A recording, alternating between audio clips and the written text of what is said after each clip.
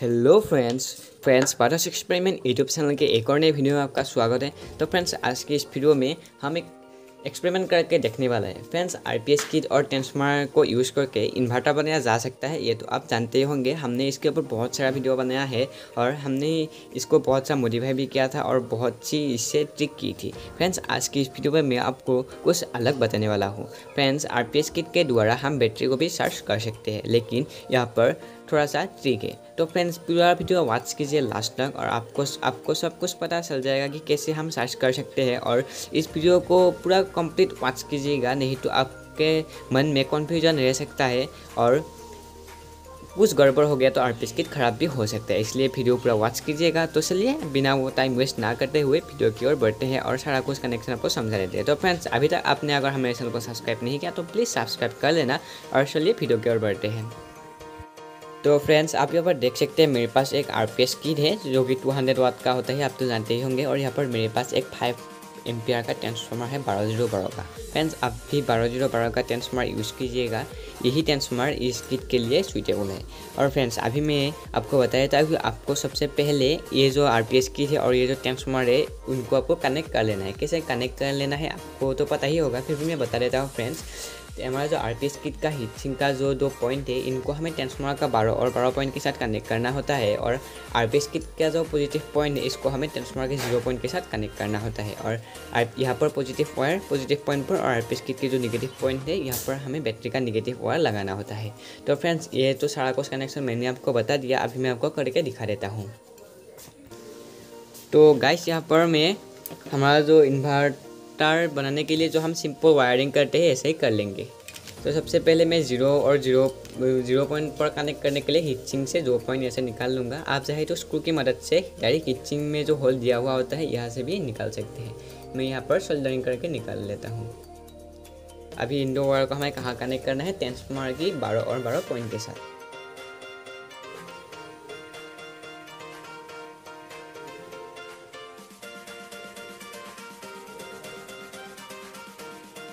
देखिए, ये हो चुका है। तो अभी हमें क्या करना है? अभी हमें आर का जो पॉजिटिव पॉइंट है, आप देख पाएँगे ये वाला पॉइंट को हमें ज़ीरो पॉइंट के साथ कनेक्ट करना है। फ्रेंड्स आप वीडियो में बने रहिए, आपको सारा कुछ कनेक्शन पता चल जाएगा। सबसे पहले मैं पॉजिटिव पॉइंट से इस वायर को निकाल लूँगा और हम ज़ीरो पॉइंट के साथ कनेक्ट करेंगे। अभी तो आपको लग रहा होगा कि ये तो सिंपल इन्वर्टर वायर ही है, लेकिन यहाँ पर बैटरी कैसे चार्ज होगा? फ्रेंड्स आप बने रहिए, आपको सारा कुछ मैं डिटेल में बता दूँगा। तो देखिए फ्रेंड्स आर पी और ट्रांसफॉर्मर एक साथ कनेक्ट हो चुका है। फ्रेंड्स इन्वर्टर बनाने में भी आपको ये यही तक वायरिंग करनी थी। इसके बाद आपको क्या करना था? यहाँ से आपको आउटपुट निकालना था और बैटरी पॉजिटिव और निगेटिव यहाँ पर आपको इनपुट देना था। लेकिन फ्रेंड्स अभी आपको ऐसा नहीं करना है। अभी आप इससे बैटरी को चार्ज करेंगे। इसलिए आपको क्या करना पड़ेगा? पहले आप इन दो जो पॉइंट है ट्रांसफार्मर का जो आउटपुट पॉइंट है, यहाँ से आप आउटपुट लेते थे।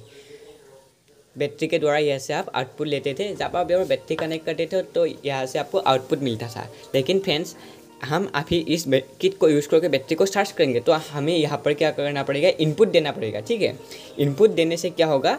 यहाँ से एक फॉल जेनरेट होगा। तो मैं आपको दिखा देता हूँ कि हमें कहाँ से दो वायर लेना है। तो फ्रेंड्स, अभी मैं क्या करूँगा?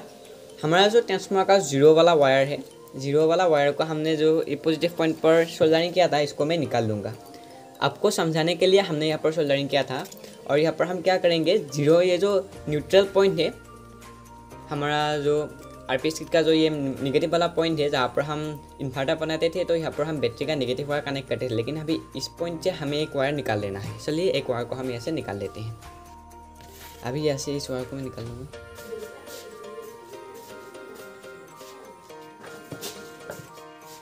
अभी ये दो वायर है हमारा। ये वाला वायर पॉजिटिव है और ये वाला वायर हमारा निगेटिव है। हमें, अभी हमें जिस बैटरी को चार्ज करना है ट्वेल्व वोल्ट की, यहाँ पर हमें कनेक्ट करना है। फ्रेंड्स अभी हमें यहाँ पर इनपुट देना होगा और यहाँ पर हमें देखना होगा कि मल्टीमीटर से हम चेक करके देखेंगे कि यहाँ पर कितना वोल्टेज आ रहा है। और ये डीसी है या एसी है, ये भी आपको मैं बता दूँगा। और फ्रेंड्स पूरा सारा कुछ डिटेल्स मिलने वाला है, फिर हमारे साथ लास्ट तक बने रहिए। तो फ्रेंड्स अभी हम यहाँ पर, जो हमारा ट्रांसफॉर्मर है, यहाँ पर इनपुट देने के लिए इस वायर को सोल्डरिंग कर लेंगे। याद रखना फ्रेंड्स यहाँ से हम आउटपुट नहीं लेंगे यहाँ पर हम इनपुट देंगे। ठीक है?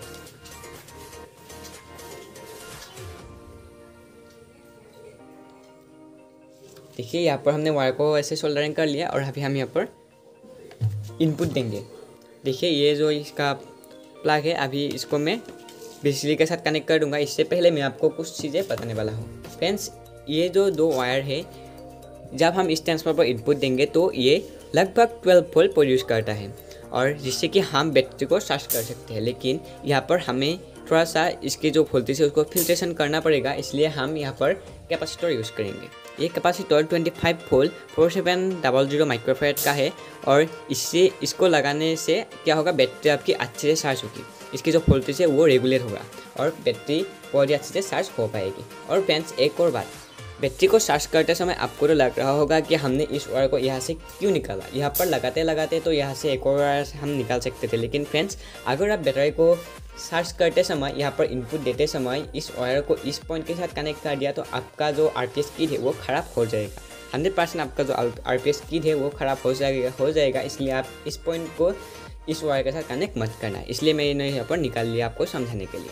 तो चलिए अभी यहाँ पर मैं कैपेसिटर को लगा लेता हूँ। ये पॉजिटिव पॉइंट है और कैपेसिटर का जो ये स्ट्रिप है, ये हमारा निगेटिव होता है तो ये लो वाला वायर के साथ कनेक्ट कर दूँगा।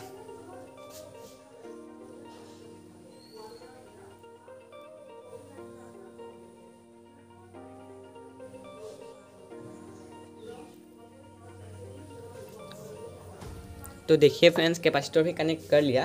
तो अभी मैं यहाँ पर वोल्टेज को मेज़र करके दिखा दूँगा। तो फ्रेंड्स अभी हमने यहाँ पर इनपुट दे दिया और अभी हम यहाँ पर कितना फॉल प्रोड्यूस हो रहा है यह हम इस मल्टीमीटर के द्वारा देख लेंगे। फ्रेंड्स मल्टीमीटर का जो रीडिंग है, यहाँ पर आप गौर करना और यहाँ पर मैं स्विच भी ऑन कर दिया। अभी मैं आपको यहाँ पर मेजर करके दिखा दूँगा। आप मल्टीमीटर का जो स्क्रीन है, यहाँ पर गौर करना।